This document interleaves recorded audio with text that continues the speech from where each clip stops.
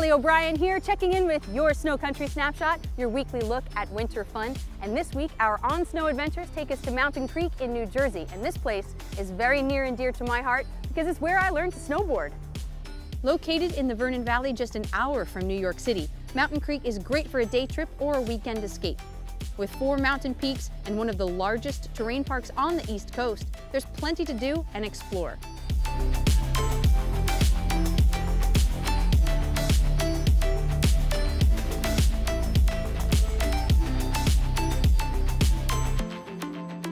And if you want to mix things up a bit, you have to take this snow bike for a spin. It is an absolute blast.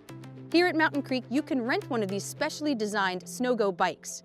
Whether you're a skier or a snowboarder or a complete newbie, riding a Sno-Go is a super fun way to get around the mountain.